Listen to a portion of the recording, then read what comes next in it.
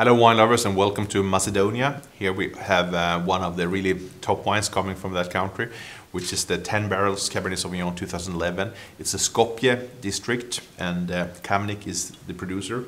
This is uh, quite rare, so 100% uh, Cabernet Sauvignon and as the name implies of course it's only 10 barrels made of, uh, of this top cuvee. Still very youthful in terms of color and aromas.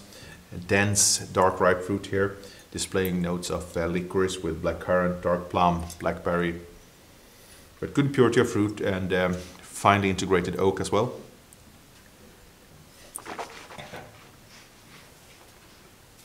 Mm.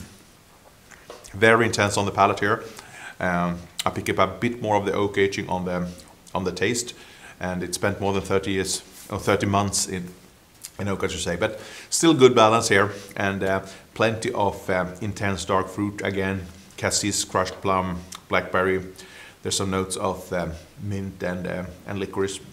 Really fine tannins there, nicely rounded, and we feel there's um, a lot of high level of ripeness, but still we have a, a good level of underlying acidity and a very long and lingering finish.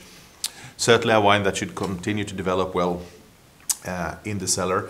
If you would like, however, pour it on the counter, leave it there for an hour and uh, drink it with something really rich and intense like duck, dark meat, uh, etc.